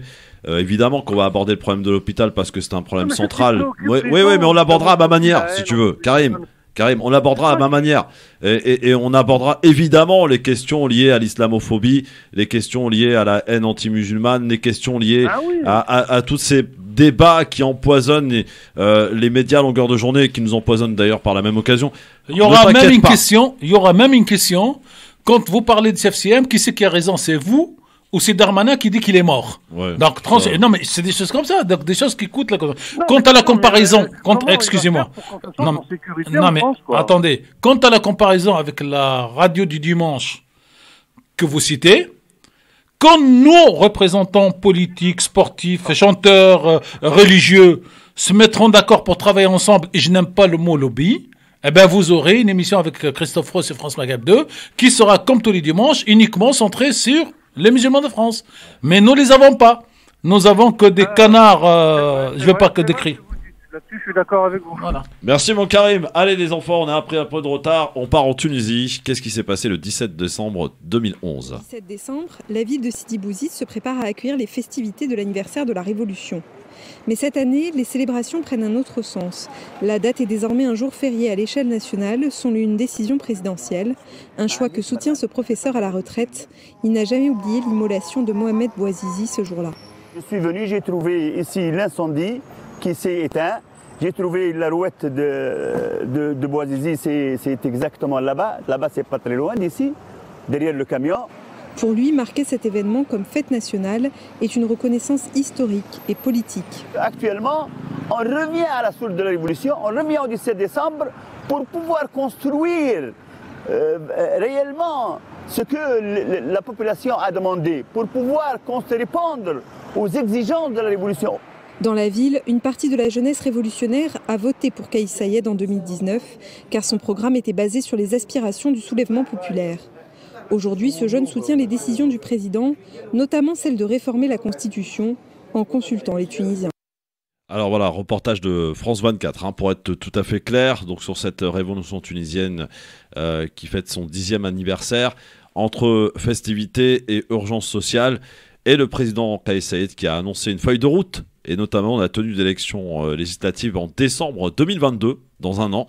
Euh, en attendant, il gèle euh, le Parlement jusqu'à la tenue des élections, et puis il annonce aussi euh, par voie référendum, je crois, au mois de juillet prochain, 2022 donc, euh, des référendums autour de la constitutionnelle, euh, des lois constitutionnelles. Alors aujourd'hui, dans quel état est la Tunisie, Tarek Mami? Bah, je préfère laisser Besma euh, répondre déjà sur cette question du 17 décembre. Et après, je. Cette révolution qui a 10 ans, effectivement, et qui a changé euh, de tout au tout le, pays. euh, on a vu d'ailleurs se libérer la parole dans les médias, et parfois, bah, on peut s'en réjouir, mais aussi parfois s'en désoler. Et on, on voit que la révolution a, pris, a mis beaucoup de temps à se faire, à s'organiser. On est passé par tous les stades, par toutes les étapes, mais c'est quand même normal, hein, je veux dire, euh, quand un pays se cherche. Ben voilà, il faut des années, il faut du temps et passer parfois par des partis, par des gens euh, pas tout à fait compétents et puis d'autres un peu plus, etc. Et là, il semblerait que les Tunisiens aient choisi leur président et qu'ils fassent entre guillemets consensus, euh, puisqu'il est, je crois, euh, dernièrement selon les sondages assez populaire, Kais Saïd. Alors, ce qui est intéressant de voir, c'est qu'il est très aimé ou alors il est très détesté. Mm. Voilà. Moi, c'est ce que j'ai j'ai pu constater. C'est soit on l'aime, soit on l'aime pas. Euh, après, c'est vrai que ça fait dix ans. C'était il y a dix ans, mais euh, aujourd'hui, la Tunisie reste encore. euh, Enfin, moi, quand j'y vais, je, trouve que c'est encore fragile, dans le sens où je, vais peut-être en choquer quelques-uns. En termes de stabilité et de bien-être lorsqu'on y est, je préférais avant.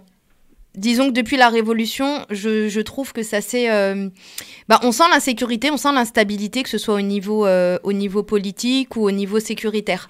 C'est euh, La Tunisie a énormément changé depuis la Révolution, donc oui, elle se cherche et j'espère que...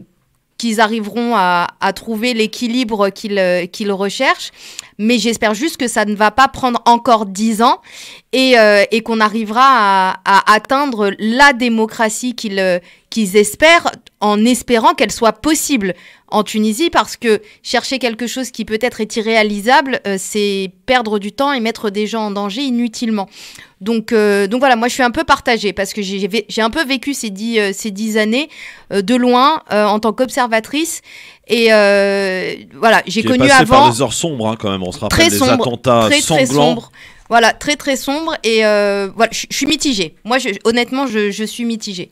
Et c'est quand même hallucinant de voir, Tarek Mami, vous qui connaissez votre pays, euh, la Tunisie, euh, de voir que la Tunisie a été le premier pays à, à envoyer le plus de terroristes en Syrie, par exemple. Alors, euh, euh, je reprends- quelque chose qui aurait été inimaginable dix ans en arrière. Oui, alors je rebondis d'abord sur euh, la question du 17 décembre, euh, jour férié, Oui. révolution ou pas. C'est jour férié à partir de cette année, c'est ça?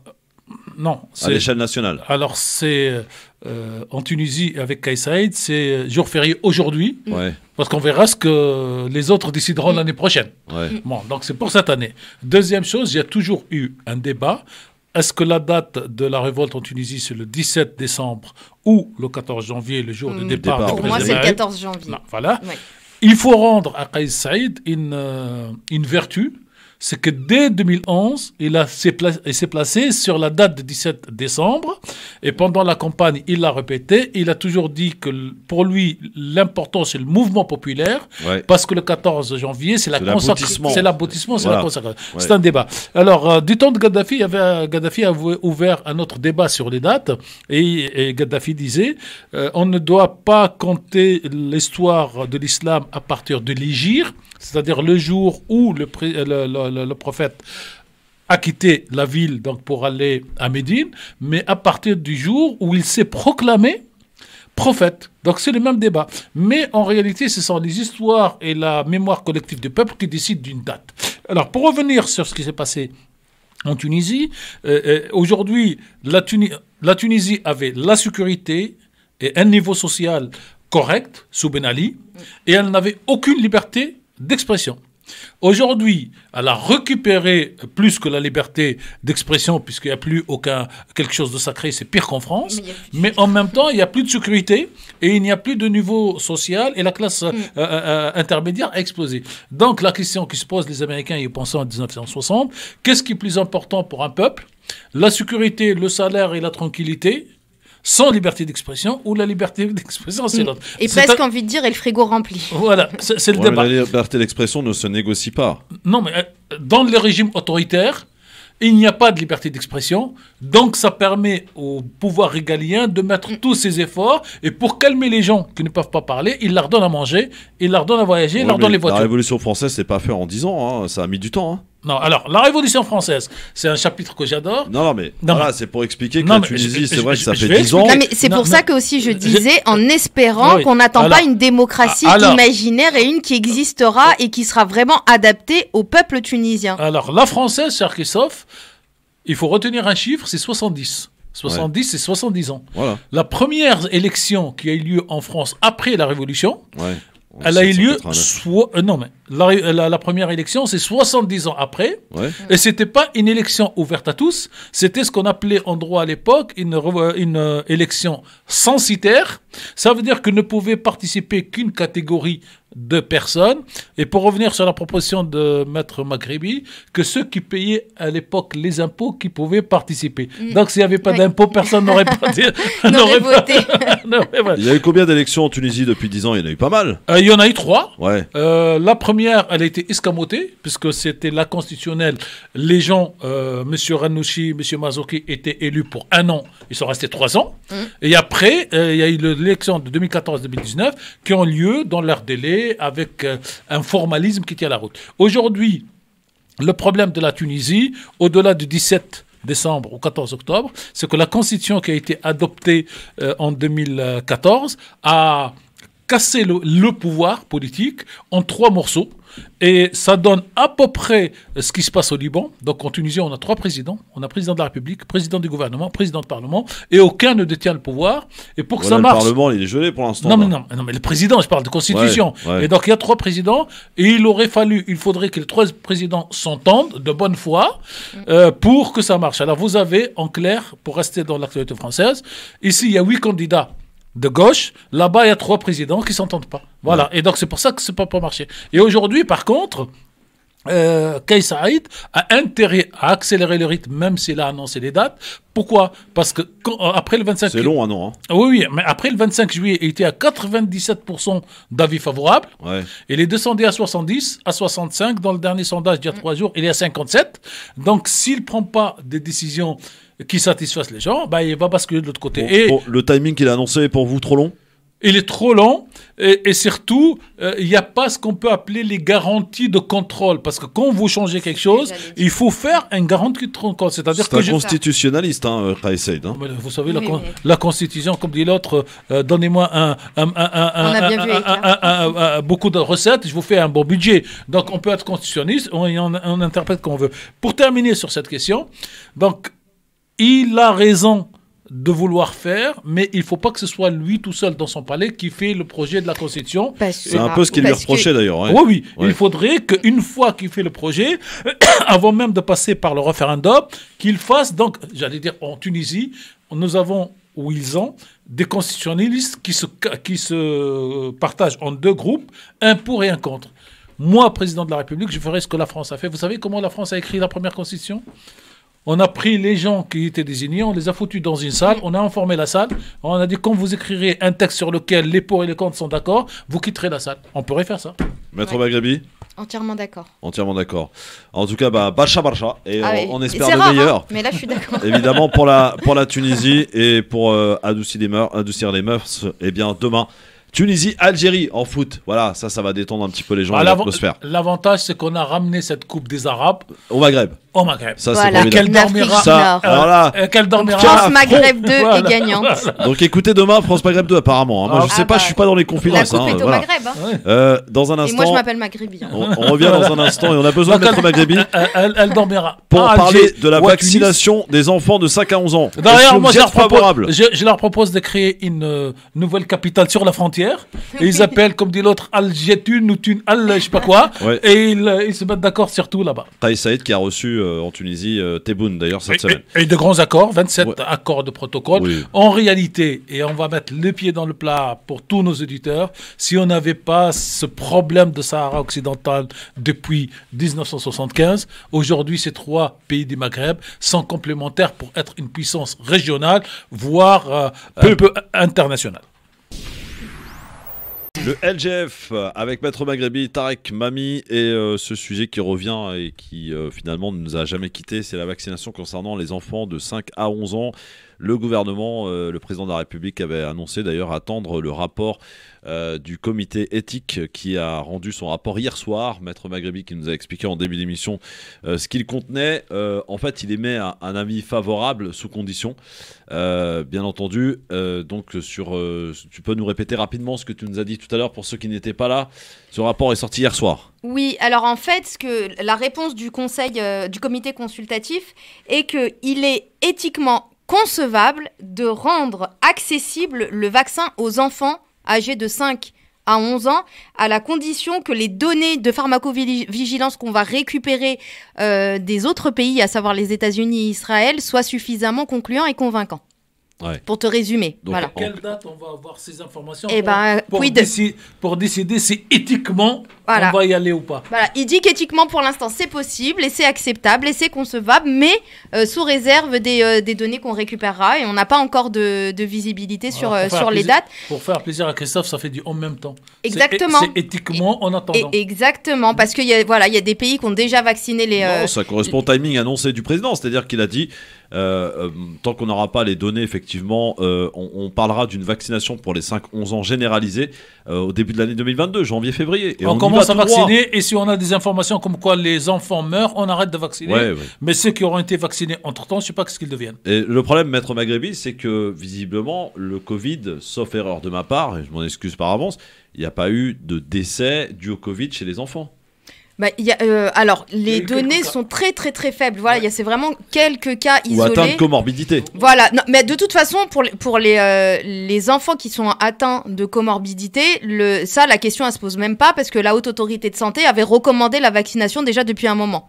Donc, c'est même pas ça la question qui est posée en réalité au, au comité consultatif. La question qui leur est posée, c'est vraiment par rapport aux enfants qui ne présentent pas de cas de comorbidité. Ouais. Et pour ces enfants-là, ça, ça signifie les enfants qui sont en bonne santé, qui n'ont absolument aucun problème et pour lesquels on peut supposer que le, Covid n'aura pas un impact sur leur santé. Et d'ailleurs, ils le disent, hein, c'est dit dans la réponse du comité que oui, on sait très bien que le, le Covid n'est pas, euh, il n'y a pas de risque grave pour les, pour les enfants qui sont âgés de 5 à 11 ans lorsqu'ils Ouais. sont atteints du Covid. Ils le disent. Sur ça, il n'y a pas de problème. Mais ce qu'ils disent, en fait, c'est que les données, qui, voilà, c'est que les données Les qui sont recueillies, voilà, c'est que les données qui sont recueillies par rapport aux enfants qui sont âgés de 5 à 11 ans euh, sont très, enfin, sont, sont suffisamment probants pour dire qu'il favorise la circulation active du virus. Et qu'à partir du moment où il, favorise la circulation active du virus, eh ben ça suppose qu'on peut prendre le risque de prendre le pari, comme c'est écrit d'ailleurs, je, re- je reviendrai De dessus. prendre le pari. Ah, je, je vais revenir sur ça.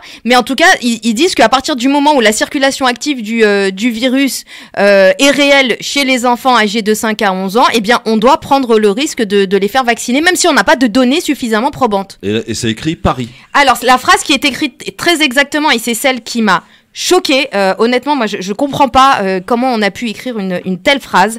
Euh, ça concerne, en fait, ils, ils expliquent que donc du coup, bien évidemment, le vaccin n'est pas obligatoire, mais ils insistent sur le fait qu'il faudra recueillir le consentement des parents et que les parents devront prendre leurs décisions presque en leur âme et confiance, en âme et conscience, pardon.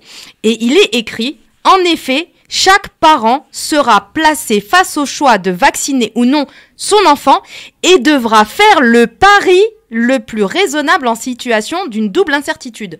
Donc chaque, en- chaque parent Ah qui ouais. prendra la Ah, décision balèzes, de vacciner ou de ne pas vacciner son enfant prendra le pari face à une, face à une double incertitude. Non mais c'est c'est juste euh, abominable comme C'est une- phrase. C'est une, c'est une phrase écrite par un- quelqu'un qui a un bac plus 50. Voilà. Et, et il écrit pour lui-même, il écrit pas pour les autres. Donc Paris, il l'a écrit comment, Paris P-A-R-I, sans le S. Ah non, si, il y a le S, c'est entre parenthèses, Ah, il, là, il a ouais, mis, oui, oui, oui. il a mis entre parenthèses Saint-Germain. Et en plus, quand- et face aux incertitudes, écoutez, bien- scandaleux. écoutez bien la suite, hein, parce que quelles sont les incertitudes face auxquelles se trouvent les parents Ouais. C'est aussi, ça reste autant invraisemblable. Donc, incertitude quant à la possibilité, aussi infime soit-elle, que son enfant puisse faire une forme sévère du Covid. Première incertitude. Incertitude quant aux, quant aux possibles séquelles d'un Covid long. Ça signifie quoi? Ça signifie que Incertitude qui figure 12 fois dans le rapport. donc, ça signifie quoi? Ça signifie qu'on est face à une incertitude quant au fait que l'enfant qui sera qui aura le virus, qui aura le Covid, puisse en mourir ou puisse avoir euh, des séquelles extrêmement graves. Ça, c'est la première incertitude. Et on sait très bien que face aux données qu'on a aujourd'hui, c'est des cas qui sont extrêmement rares. Donc ça, c'est la première incertitude. Deuxième incertitude, c'est que lorsqu'on attrape le Covid, on peut euh, être assujetti à un Covid long, c'est-à-dire continuer à avoir les symptômes par la suite. Ouais. Donc aujourd'hui, on sait, donc c'est ce qui est écrit, hein, qu'un enfant qui est atteint du Covid, eh bien, il y a très peu de chances qu'il ait une forme grave et il y a très peu de chances qu'il ait un Covid long.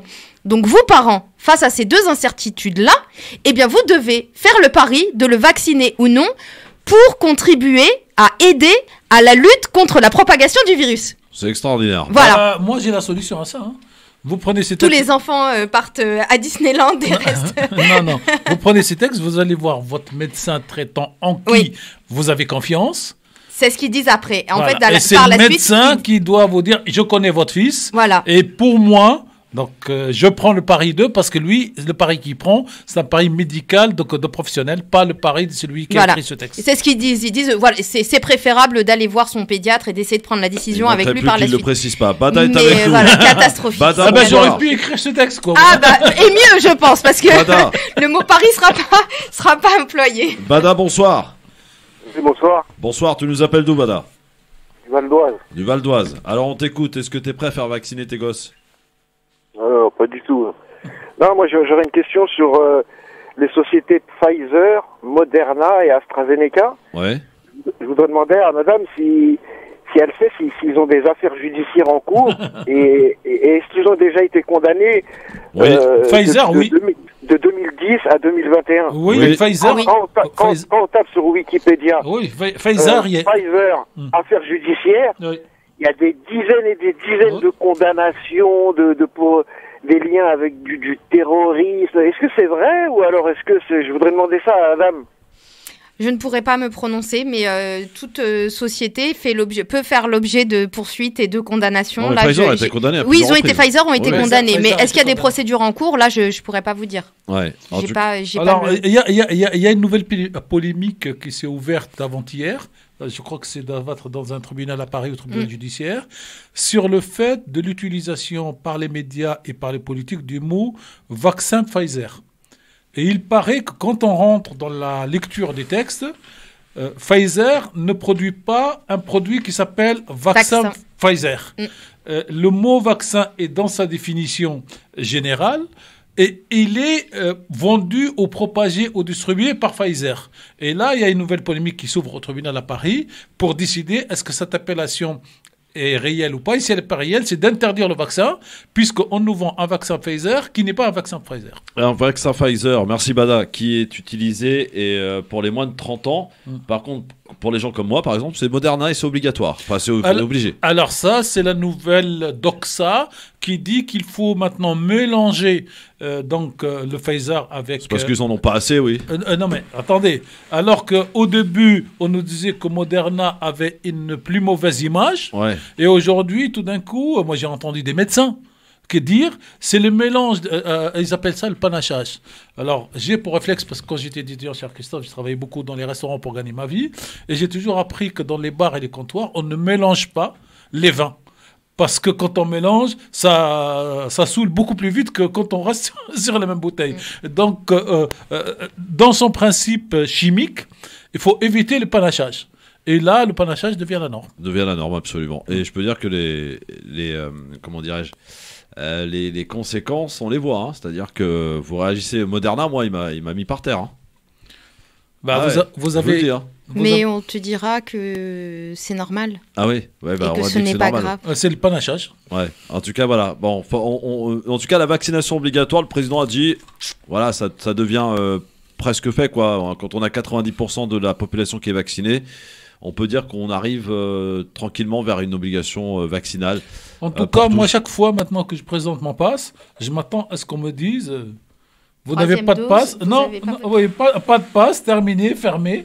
Donc, je, tous les, je, je, je me Ils fais. vont pas- réduire à 4 mois, là. J'ai vu que parmi les décisions qui vont être prises, là, en, prises cet Oui, après-midi, oui. réduire à 4 mois entre Oui. deux, des doses. Et c'est des fous. Oui, c'est des on, fous. on était à 7. Et donc, moi, tous les jours, pour le moment où je montre, on me dit OK. Je dis bon, on verra pour la deuxième, troisième dose, parce que moi, j'avais fait le choix de prendre à, à- à dose unique. Euh, le fameux Johnson à l'époque. Ouais. euh, non, mais voilà. et puis c'est surtout Bon. que ça nous avait vraiment pas été présenté comme ça. Je sais pas si tu te souviens, Christophe, Oui. mais euh, au, au départ, lorsque le vaccin était arrivé, euh, moi j'en entendais beaucoup, hein, notamment toi, qui disais mais moi qu'on ne m'impose même pas le port du masque parce que je me suis fait vacciner. Oui. Et aujourd'hui, on en est à port du Ah, masque, alors- à plusieurs doses de vaccin, Ah, alors- et alors- en plus vrai. Ah. avec l'admission que le fait de se faire vacciner ne prévient que partiellement la transmission du virus. Oui, C'est-à-dire que, al- al- alors, alors, qu'au départ, là- on, on nous là- avait un peu vendu ça Oui, euh, différemment. Là, là, il faut euh, accepter l'idée qu'on va vivre avec Ah oui. assez longtemps et Ouais, qu'on arrête de se foutre de nous. euh, Voilà, en fait, et- et- et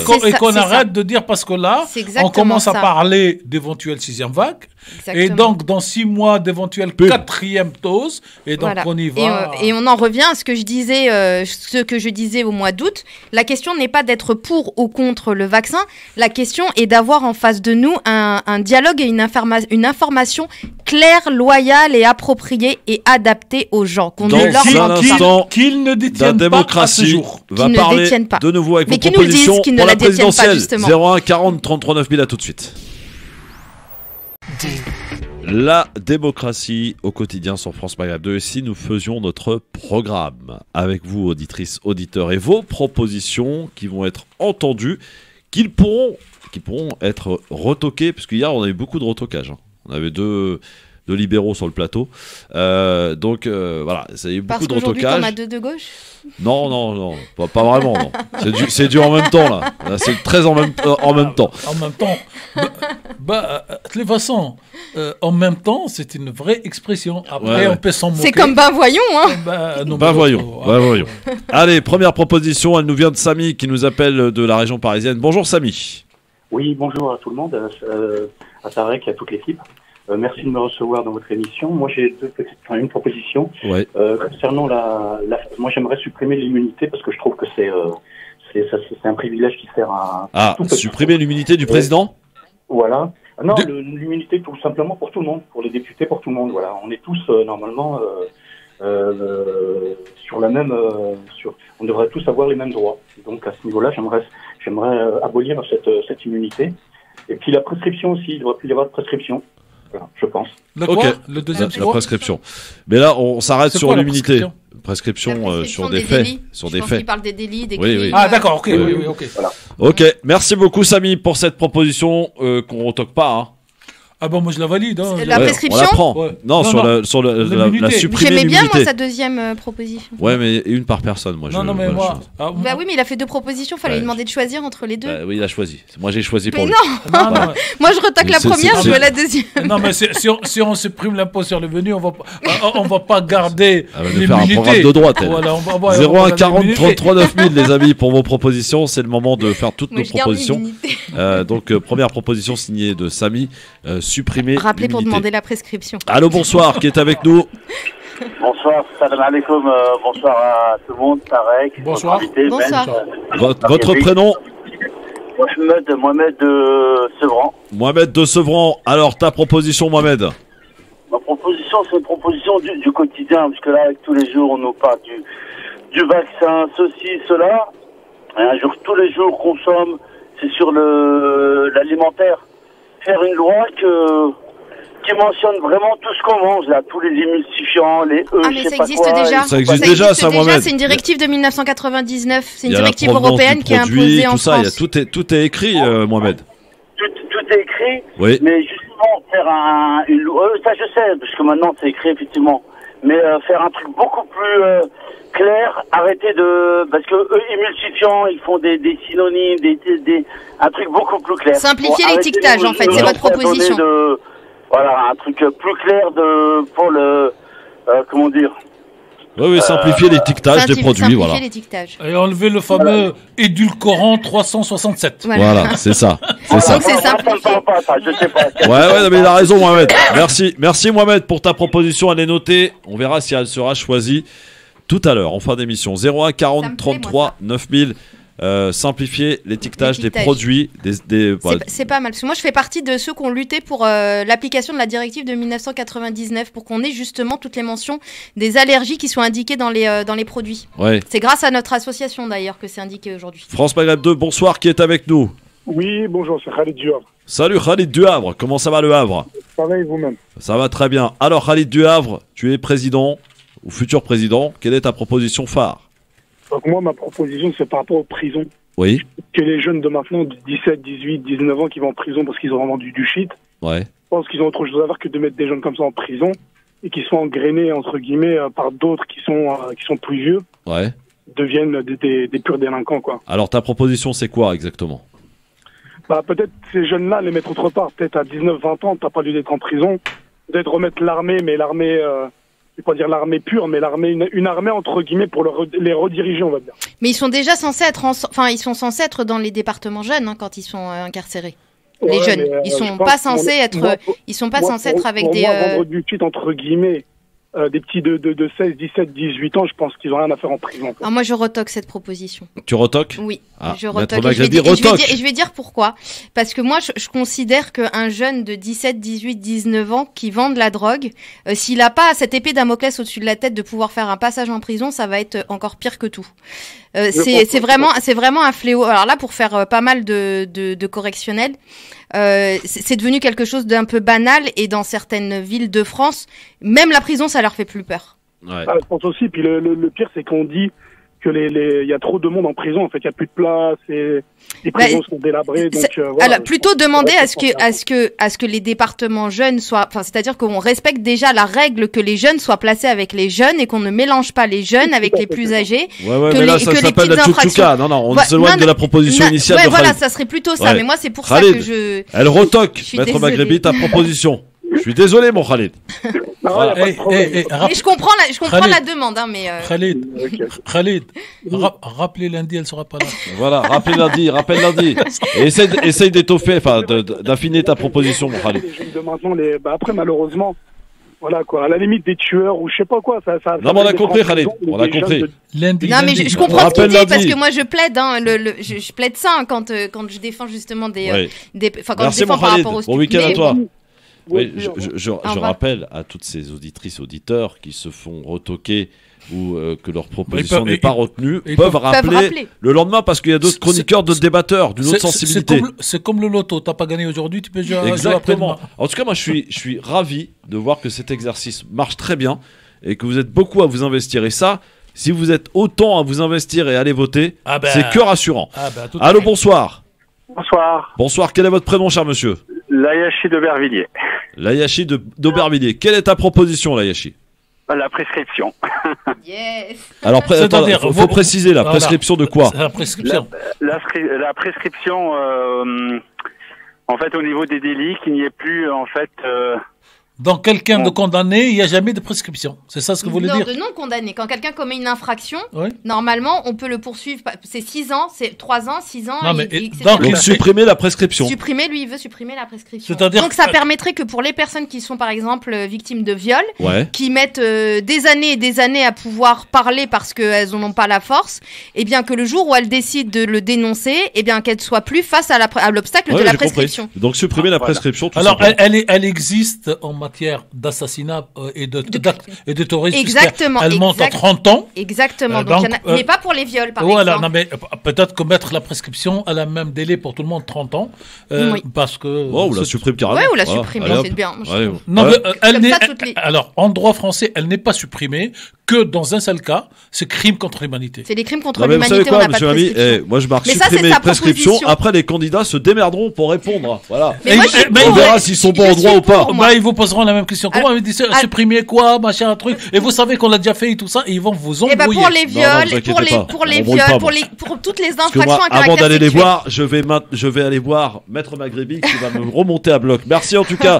Proposition validée dans elle, un va, instant. elle va déformer toutes vos propositions. Encore, dans le, oui. dans Non, le- ça, j'ai l'habitude, vous dans- inquiétez pas. Dans le sens de suppression connais. sur les revenus. Dans un instant, deux ou trois encore, Non, et non, vous devrez faire votre choix. Tarek Mami, Maître Magrébi, sur France Maghreb 2, on est euh, en train d'élaborer et de faire notre programme. Si nous faisions notre programme, eh ben oui, on le fait. Pour, pour moi, il faut Le choix va être cornélien, les amis, parce qu'ils sont en train de débattre, ils sont pas d'accord. Maître Magrébi et, et Tarek Mami, ils sont pas d'accord. Bon, regarde, écoutez, écoutez. la prescription.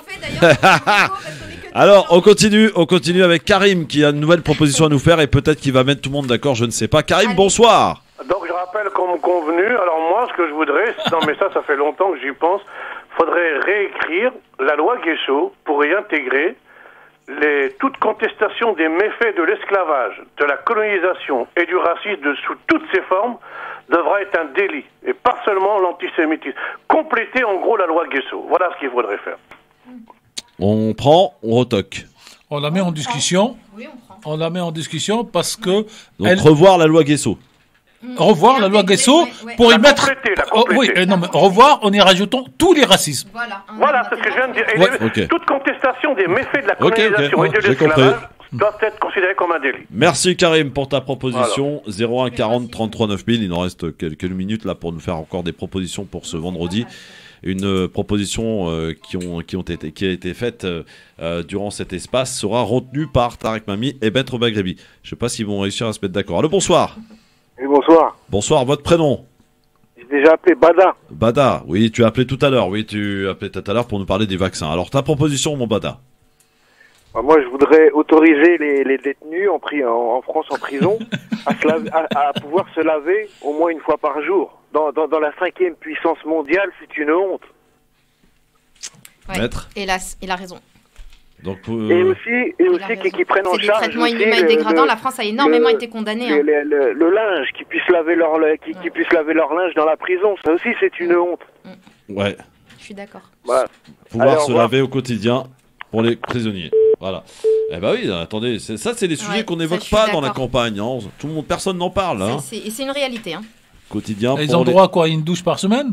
Oui. C'est généralement ça, oui. C'est généralement ça, c'est une fois par semaine. Allô, bonsoir, qui est avec Ils nous ont des cellules dans des Salam alaikum, c'est Mariam. Bonsoir Myriam, baisse-moi ta radio s'il te plaît 95. Myriam. Bonsoir. Baisse ta radio. Myriam. Oui, ça y est, je vais la baisser. Ah oui, parce que voilà. Alors on t'écoute. bien. Bon, moi, on, prouve aux, aux autres Euh, radios, aux auditeurs que nous on prend les appels sans filtrage. hein. Voilà. pardon Alors, euh, euh, c'est pas grave. Myriam, on t'écoute pour ta proposition. Euh, ben, écoutez, moi, j'aimerais bien qu'on parle euh, énormément des AESH. Qu'est-ce que les AESH Des AESH qui s'occupent des, des AVS qui s'occupent des enfants en difficulté scolaire, handicap dans les écoles. Oui. Voilà, alors on a un statut où on travaille 24 heures, on est payé 700 euros. Ouais. 24 Et, heures par euh, mois Pardon? 24 heures par, par semaine, par mois? Oui, non, non, par semaine. Par semaine, tout à fait. Ouais, ok. Voilà, nous sommes payés 700 euros. Euh, C'est un travail qui est passionnant avec les enfants, bah, bien sûr, en difficulté euh, scolaire et d'handicap. Et je trouve que ce métier n'est pas mis en avant et qu'on est, des, on est les oubliés de la société. Je dirais, que- je dirais est-ce- même que vous n'êtes pas assez nombreux. Est-ce que ça correspond à un SMIC horaire en gros? Pardon? Est-ce que ça correspond à un SMIC horaire 24 heures, en oui, gros? c'est à peu près ça. Euh, à peu près, oui, je crois que c'est 800. Mais c'est quoi votre proposition, Myriam? Brut et net 700, euh, c'est 900, reconnaissance. enfin, depuis, Ouais. même pas le SMIC. hein. Bon, alors c'est quoi votre demande Votre, Votre proposition, proposition, Myriam, J'aimerais bien que les gouvernements euh, parlent énormément des AESH parce que c'est un métier à l'avenir où euh, malheureusement il y a beaucoup d'enfants en difficulté et puis d'handicap. Et ces enfants ont le droit à autant comme les autres et euh, aussi à la scolarité. Mais qu'on puisse mettre plus de moyens et puis qu'on soit plus payé parce que c'est quand même. euh, euh, j'ai- j'ai l'impression que c'est de l'esclavage moderne. Allez voir les syndicalistes de la SNCF, vous allez voir, vous allez être mieux payés direct. Merci beaucoup Myriam. Quand je, vois que les, quand je vois que la SNCF fait grève et Alors que, comme vous augmenté disiez six- hier, 300 euros de prime, et Ouais. que nous, on a eu 600 pour les conducteurs, prime. 300 pour on les a eu contrôleurs. prime pendant le Covid en travaillant avec les enfants. C'est juste scandaleux. Ouais.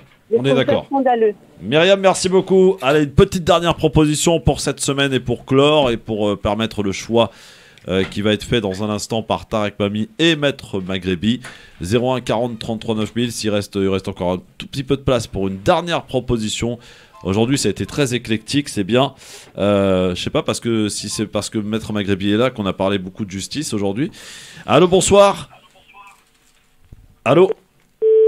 Ça, c'est une proposition très radicale. Euh, c'est ça, sympa. Garder le silence. Ouais, garder le le droit à garder le Le silence. Il silence. existe déjà. C'est bien ça. Il existe déjà, mais d'ailleurs, ce serait bien que lorsqu'une personne décide de garder le silence, ce ne soit pas considéré comme un aveu de culpabilité. France Maghreb de bonsoir. Oui, bonsoir Christophe. Bonsoir, ton prénom et ta ville d'appel. C'est Khalid de Clermont-Ferrand. Khalid Clermont-Ferrand, ta proposition, on t'écoute. Ouais, j'ai une proposition, moi aussi, là, je rejoins de la dame qui était avant moi, juste à propos de la domaine de sécurité. Ouais. Je suis syndicat dans le domaine de sécurité, je ferai une proposition parce que nous aussi, on n'est pas bien payés. Et normalement, on fait un boulot, un boulot de merde. Très bien, donc euh, reconnaissance du, de tout ce qui est métier lié à la sécurité. Très bien. Bon. Alors, qu'est-ce qui nous a été proposé depuis tout à l'heure? Supprimer l'humidité. Ça, ça plaît bien à Tarek, j'imagine. Oui. Simplifier l'étiquetage des produits euh, dans les grandes surfaces, mais pas que. Mm. Supprimer la prescription. Ouais. Revoir la loi Guesso. Pouvoir se laver au quotidien quand on est en prison. Reconnaissance des AESH et reconnaissance des métiers liés à la sécurité. Je vous laisse 30 secondes pour débattre et faire votre choix, Tarek, Mami et Maître Maghrebi.